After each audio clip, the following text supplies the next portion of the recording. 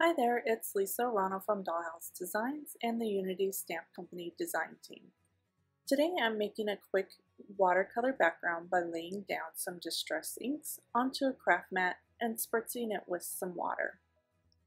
Now I've already stamped my image onto some watercolor paper and I'm directly applying it to that ink I have on my craft mat.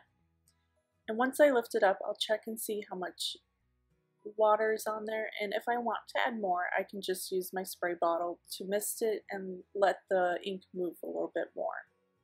Now I'm just repeating this technique but on an acrylic block in case you do not have a craft mat. You can do the same thing just using a slick surface like an acrylic block.